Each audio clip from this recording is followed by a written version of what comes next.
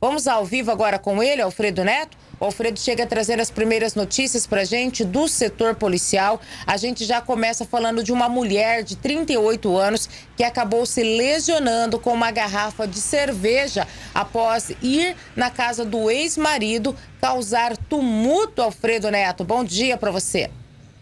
Olá, bom dia, Ana. Bom dia, Antônio Luiz e a todos que nos acompanham. Isso mesmo, Ana. Sexta-feira, por volta de 17 horas, a Polícia Militar e o SAMU foram chamados para comparecer ali na rua Taufik Farran, no bairro Vila Piloto, onde essa mulher de 38 anos teria ido até a casa do ex-marido e lá da porta estaria xingando a ex-sogra e chamando o marido para sair para eles resolverem alguma situação que estaria ali mal resolvida. Por ter uma medida protetiva contra o ex-marido, o rapaz estava dentro da casa, o homem de 41 anos, resolveu não sair e ligou para a polícia militar informando que a ex-mulher estaria no portão da casa dele, alterada, com uma garrafa de cerveja batendo no portão, xingando a mãe dele e por ter uma medida protetiva, o mesmo não iria sair e que necessitava da viatura da Polícia Militar na porta da casa dele. Os policiais da, da Rádio Patrulha foram até o local, aonde, chegando lá, acabaram encontrando a mulher ensanguentada. Populares disseram para os policiais que a mesma estava com a garrafa de cerveja vazia batendo no portão da casa. Em um determinado momento, essa garrafa acabou cortando e no momento que ela foi fazer esse movimento para voltar a bater com essa garrafa no portão sem se perceber que ela teria quebrado, teria feito um corte superficial na cabeça, mas devido à cabeça ser uma área bastante irrigada, houve um sangramento excessivo e o SAMU foi chamado. A mulher recebeu ali os curativos primários, foi levado para a UPA, unidade de pronto atendimento, aonde ficou em observação médica e posteriormente foi liberada. Já no sábado, a polícia foi chamada novamente no mesmo local pelo mesmo problema. A mulher de 38 anos teria voltado na casa do ex-marido, aonde estaria no portão, causando ali um certo tumulto. No dia conversei com ela, a mesma relatou que teria ido na casa porque queria ver a, o filho a qual o marido tem a guarda. A justiça teria permitido a ele a guarda da criança e ela queria retirar alguns objetos dela que estaria na casa. Já os familiares ali da residência do homem, a qual solicitou a polícia, disse que não, que isso é rotineiro, que a mesma sempre dá trabalho, inclusive o homem estaria respondendo na justiça por agressões, violência doméstica e ameaças que não teria cometido por conta da mulher ter causado aí falsas denúncias criminais contra ele para que o mesmo fosse incriminado e assim ele pudesse perder a razão, a paciência e ficar refém das vontades dela. Ana.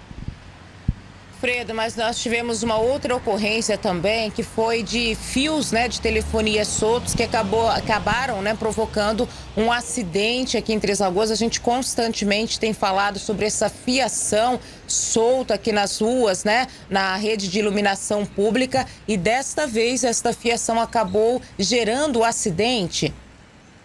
Isso mesmo, Ana.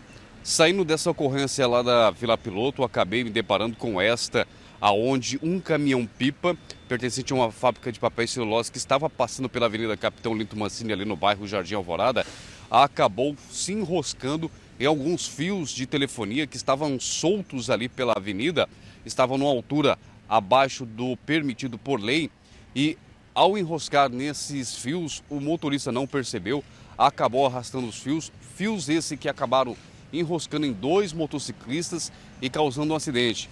Um dos motociclistas de 37 anos não teve ferimentos, ficou no local auxiliando na orientação do trânsito. Já um outro de 21 anos, que pilotava uma XT 660 Yamaha, acabou sendo arremessado contra um veículo Gol, bateu na lateral e foi jogado contra a traseira de um veículo Fusca que estava estacionado. Esse jovem de 21 anos foi socorrido pelo SAMU, aonde foi constatado ali que haviam várias escoriações uma suspeita de fratura em uma das pernas, na perna direita. O mesmo foi imobilizado e levado para o Hospital Auxiliadora. Estava consciente, orientado e o trânsito teve que ser impedido no local. A Polícia Militar, por meio do, do pelotão de trânsito e do GETAM, o Grupamento Especial Tático de Motos, estiveram no local fazendo ali o desvio da faixa que liga o bairro Jardim Alvorada, Quinta da Lagoa, até o centro para que fosse feita ali o resgate dessa vítima e a remoção dos fios que ficaram esparramados pela avenida.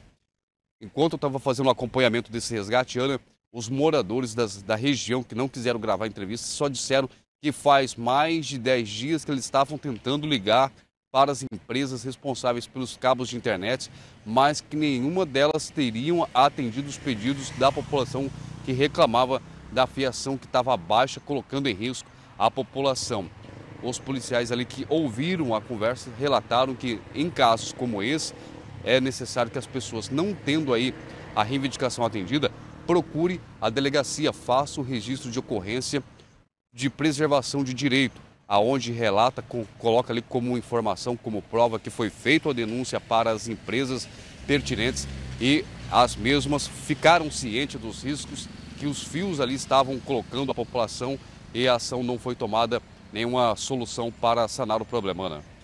Exatamente, Alfredo. Tem que ser feito isso mesmo para ver se essas empresas de telefonia, né, é, tomam providências, porque há quanto tempo a gente está falando aqui a respeito desta fiação solta, perigo de acidente. A gente tem alertado que uma hora isso vai causar acidente. Olha no que aconteceu.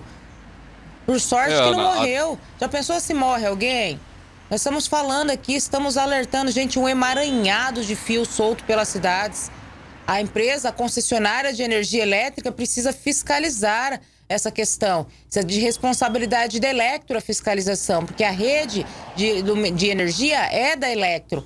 Tem que ter fiscalização, gente. O que não dá é para continuar do jeito que está essa poluição visual, causando riscos para as pessoas. Olha o perigo que está isso. Olha aí no que resultou. Acidentes, Alfredo Neto. Não é falta da gente falar sobre isso aqui, hein? É, Ana, até ali colocado com. conversando ali com os amigos, outros colegas que estavam acompanhando esse resgate, ainda foi colocado. Já que essas fiações não são elétricas, não tem o perigo de curto, não tem o perigo de um encostar no outro, eles podem ali compartilhar o mesmo espaço. Não custa nada haver um estudo para essas empresas de telefonia fazer aí, nem que seja nas principais avenidas aonde tem esse risco por conta de caminhões, às vezes com carga elevada, a passar e a enroscar, mas de fazer aí um serviço aonde esses cabos sejam subterrâneos. E nos bairros, posteriormente aí uma revisão, já que muitos desses bairros de Três Lagoas vêm sofrendo com fios aí que estão caídos mesmo na rua e crianças estão passando, vindo da escola, pegando com a mão, trombando se enroscando ali, motociclistas correndo risco sofrer acidente ou outras pessoas de serem eletrocutados, já que os fios de telefonia não têm aí uma voltagem tão alta que possa causar aí um acidente grave elétrico. Mas se ele tiver encostado numa rede de alta tensão, ele utiliza esse cabo como um meio de aterramento para descarregar energia no solo e acaba descarregando em quem encostar nessa fiação.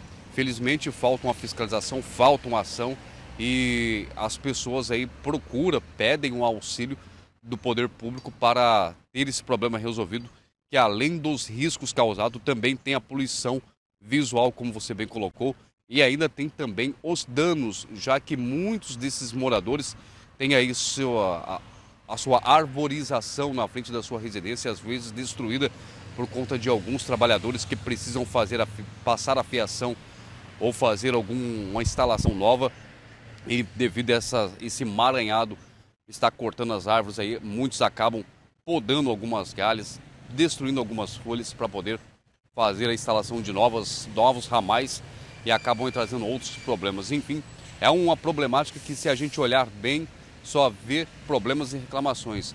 O que seria de solução coisa prática, praticamente a gente não vê nenhum deles aí falar ou tomar ação, Ana.